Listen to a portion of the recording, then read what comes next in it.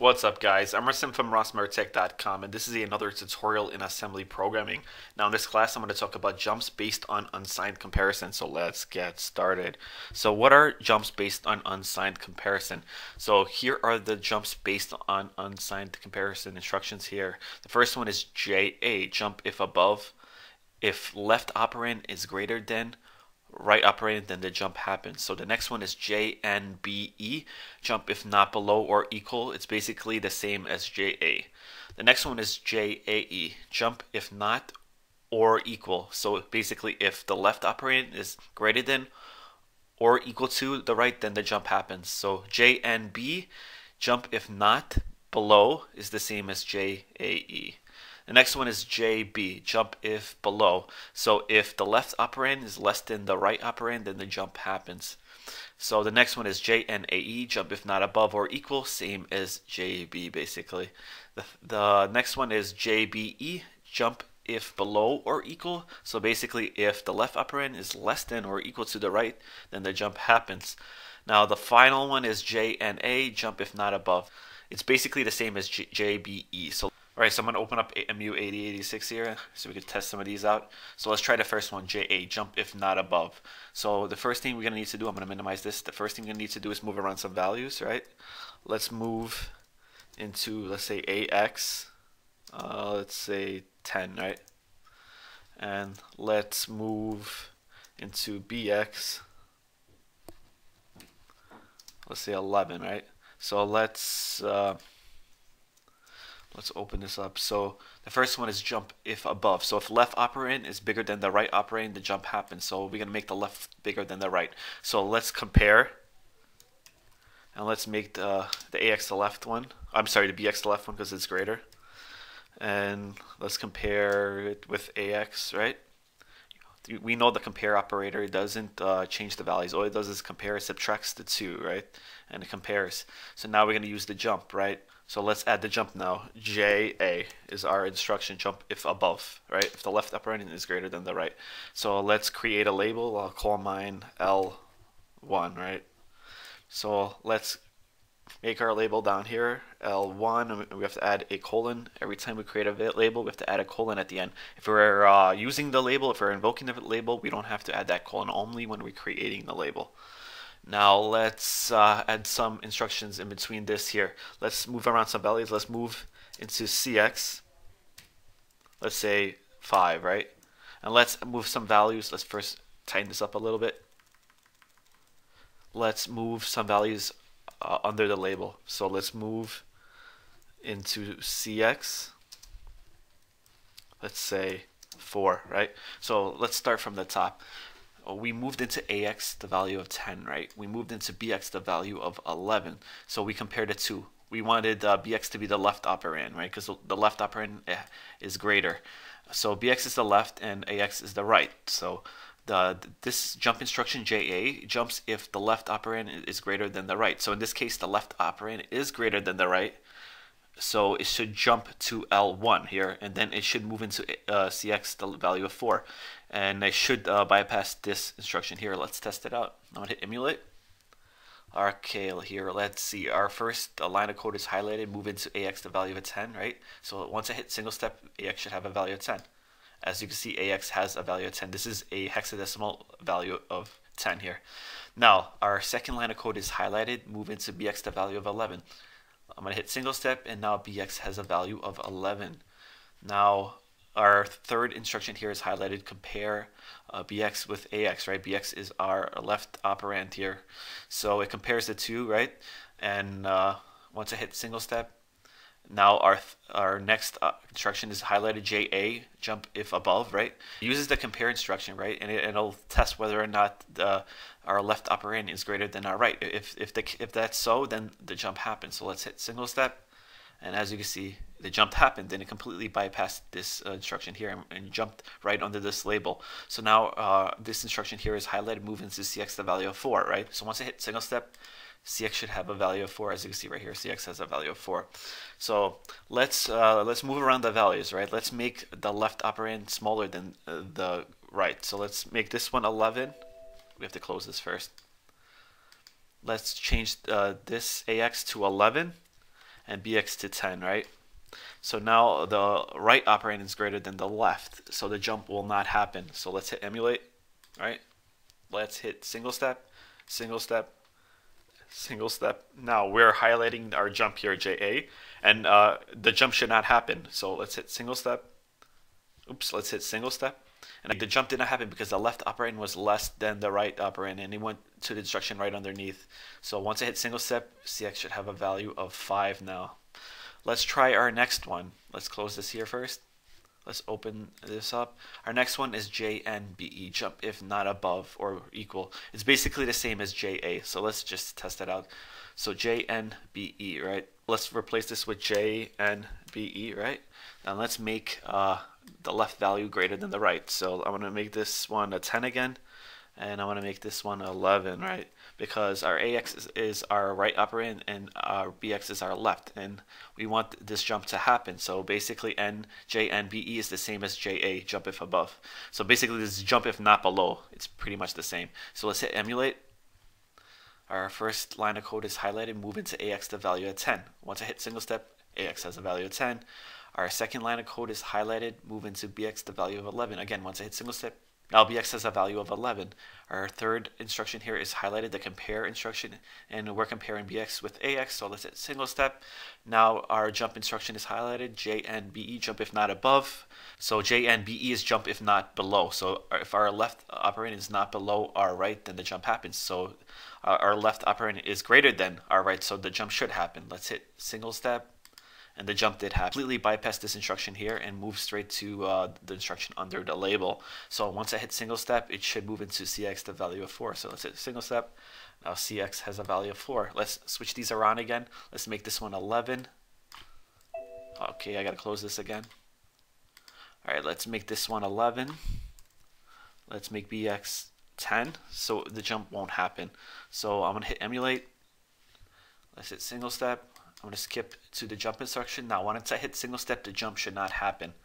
So let's hit single step, and as you can see, the jump did not happen, and it moved to an instruction underneath the jump. So I hit single step, CX should have a value of 5. So single step, CX has a value of 5. Let's try another one. Let's close this here. Let's try JAE, jump if above or equal. So if the left operand is greater than or equal to the right, then the jump will happen. So let's test it out, JAE jump if above or equal.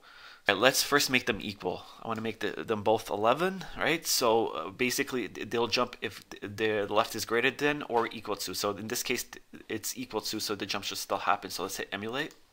I'm going to hit single step, right? AX has a value of 11 now. I'm going to hit single step. Now BX has a value of 11. Now the compare instruction is highlighted. I'm going to hit single step. Now it's highlighting JAE, jump if uh, greater than or equal to, right? So let's hit single step and jump happened because the left operand and the right operand were equal to each other. So let's close this and try something else. Let's make the left greater than, right? So let's make BX 12 and the jump should still happen. So let's hit emulate our first line of code is highlighted, move into AX11, right? So let's hit single step. Now AX has a value of 11. This is the hexadecimal value of 11 here. So now let's hit single step and BX should have a value of 12. Now our compare instruction is highlighted, so let's hit single step. Now it's highlighting our jump instruction JAE. So basically, uh, if our left operator is either either greater than or equal to the right, then the jump happens. It's so the left is greater than the right, so the jump should happen. Let's hit single step. The jump happened. Completely bypass this instruction here.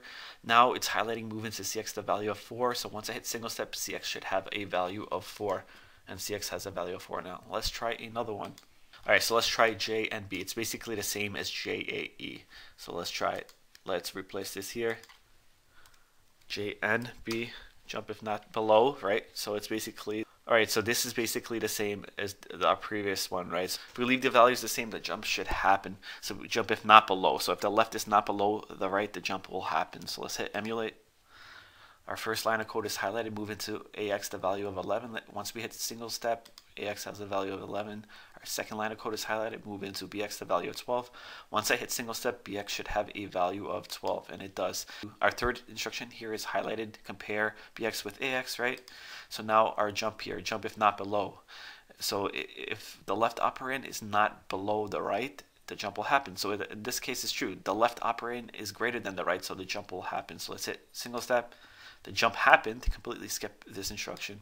Now uh, move into CX, the uh, value of 4 is highlighted. So once I hit single step, CX should have a value of 4. So let's close this here. Let's move the values around. Let's make the jump not happen. Let's just make AX greater than BX. So make AX 13, right?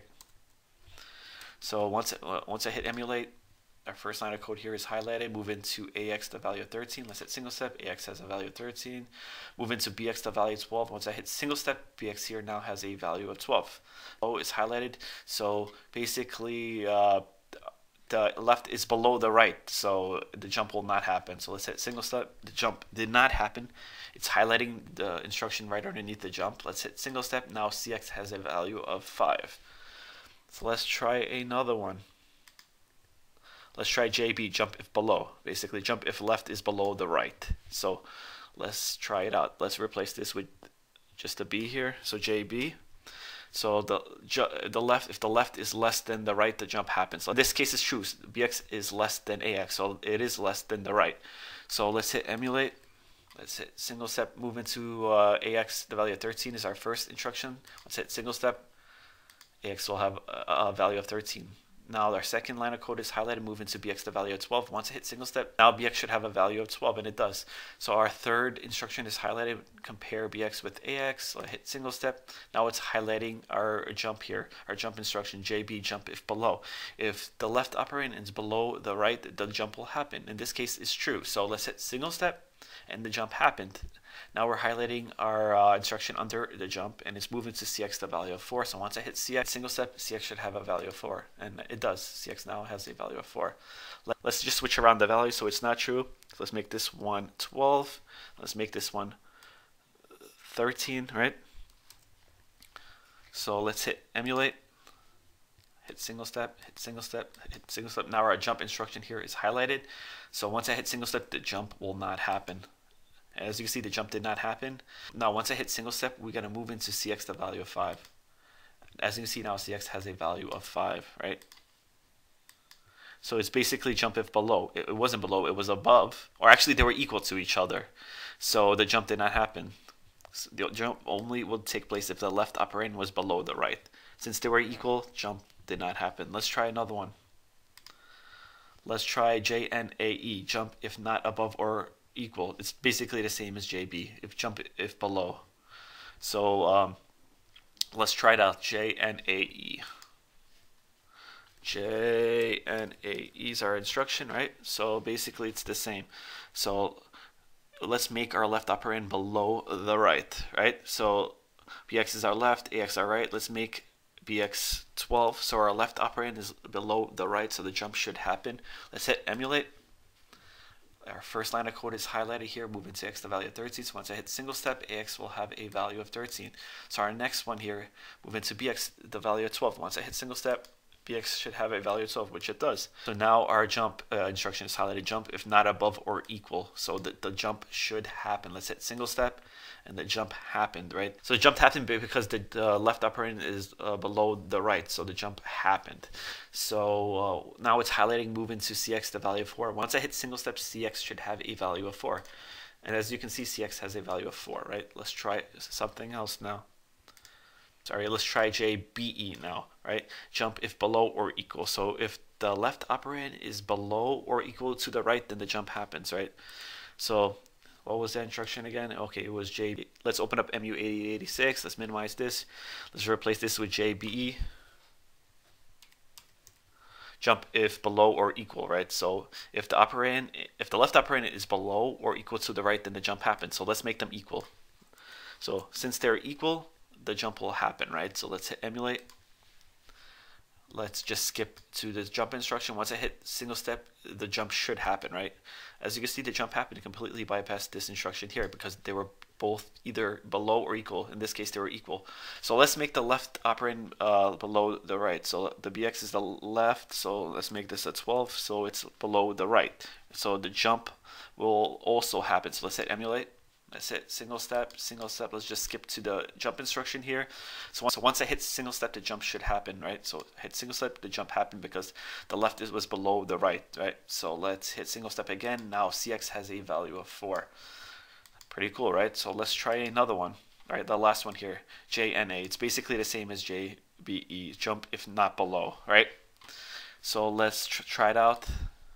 JNA. Right, so if the left is not below the right, the, jump will happen. So uh, let's make this a 13. So the jump will happen because the, the left operand is not below the right. So they're equal, so the jump should still happen. Let's hit emulate. Our first line of code is highlighted, move into AX, the value of 13. Let's hit single step, AX now has a value of 13.